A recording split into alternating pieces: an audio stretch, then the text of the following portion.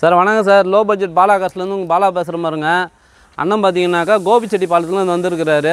இந்த ஷிஃப்ட்டு போட்டு நம்ம ஒரு நாலஞ்சு நாள் ஆகுது வீடியோ ரெண்டு நாள் முன்னாடியே ஃபோன் பண்ணி சொல்லிட்டாரு. எனக்கு ஞாயிற்றுக்கிழமை வந்து வண்டி எடுத்துக்கிறேன் யாரும் கொடுக்காதீங்கன்னு சொல்லிட்டு. ரெண்டாயிரத்தி ஒம்பது ஷிஃப்ட்டு வீடியோ போ போட்டிருந்தோம். இப்போ வந்து பார்த்தீங்கன்னா அண்ணன் பேசி எடுத்துட்டாரு. வீடியோவில் பார்த்தீங்கன்னாக்கா ரெண்டு லட்சத்தி நாற்பத்தஞ்சாயிரரூவா போட்டோம்.